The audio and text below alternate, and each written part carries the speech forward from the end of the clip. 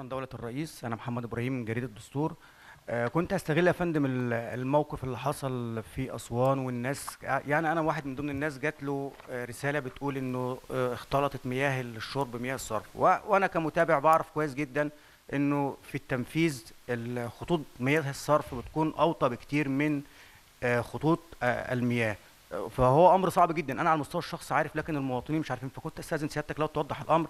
كمان نستغل الموقف في إنه الدولة المصرية أنفقت مئات المليارات منذ 2012 أو 13 وسيادتك كنت على رأس هذا الملف. في آه، توفير مياه الشرب للمصريين كنا آه، قبل أو 2011 كان في ثورة جراكن الموضوع ده انتهى تماما. كان في مشاكل. ما كانش في تغطية مياه آه، الصرف الصحي في القرى. إحنا بنستهدف. وطبعا إحنا يعني كدولة مصرية قطعت شوط كبير جدا. كنت أستاذن سيادتك لو توضح للسادة المواطنين كم أنفقت الدولة على مياه الشرب والصرف الصحي من 2012 آه، حتى اليوم أرقام عمرها ما حصلت في تاريخ مصر. شكرا يا فندم. آه، اسمحوا لي إن أنا يعني نتكلم في هذا الملف مرة أخرى وأأكد إن يعني الحمد لله منظومة آه، مياه الشرب اللي موجودة في مصر الحمد لله على أعلى قدر من المأمونية والسلامة. إحنا عندنا عشان حضراتكم تبقوا عارفين 3050 محطة مياه شرب على مستوى الجمهورية.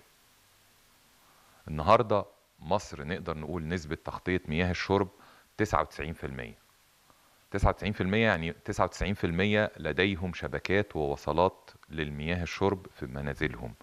طب الباقي ده بيبقى إيه؟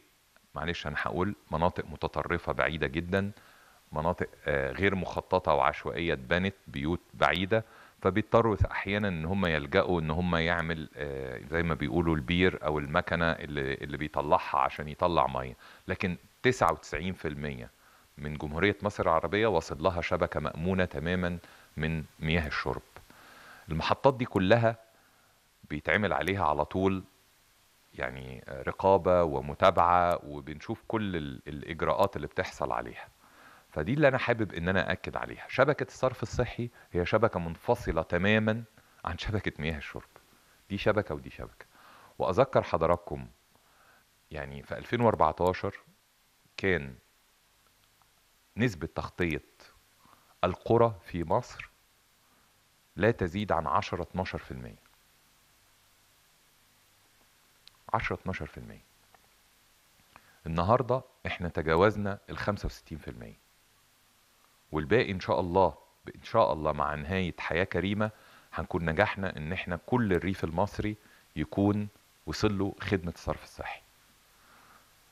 فبالتالي ال- إحنا خدنا طريق كبير والطريق مش سهل إن إحنا نخلصه في فترة قصيرة ولكن اللي حصل ده كله في فترة أقل من عشر سنوات بكل المقاييس هو إنجاز كبير جدا جدا جدا للدولة المصرية في مطلب شعبي كان كل المواطنين في كل حتة كنا بنروحها في زياراتنا كله بيقول أنا عايز خدمة صرف الصحي وما زال ال 35% ودول ليسوا بعدد قليل بيطالبوا هم كمان من حقهم إن هذه الخدمة تدخل ليهم. فبالتالي ممكن يبقى المشاكل اللي بتحصل زي ما حضراتكم تابعتوا نتيجة لأن بعض القرى ممكن لسه ما فيهاش خدمة الصرف الصحي وبيحصل فيها مشكلة نتيجة لذلك. ولكن النهاردة أسوان نفسها النهاردة لما حضراتكم تشوفوا الحمد لله مستوى تغطية خدمة الصرف الصحي اللي وصلت ليها أكتر من 100 قرية. فالنهاردة إحنا بنتكلم على كل المتبقي فيها عدد محدود بإذن الله مع نهاية قبل نهاية المرحلة الثانية من حياة كريمة هتكون انتهت بالكامل. وده نموذج لكل اللي بيتم على مستوى الدولة. فالحتة دي بالذات أنا حابب إن أنا دايما أتكلم عليها وأؤكد. يعني هذا الموضوع بتراقب عليه ثلاث وزارات وجهات مختلفة. موضوع جودة المية وزارة الصحة وزارة الري ووزارة الإسكان. طبعا كأنها مسؤولة عن المحطات. لكن الكل بيراقب وكل واحد ليه دور وكل واحد بياخد عينات وكل واحد بيطلع نتائج وبنشوفها وبنتابعها في هذا الشأن.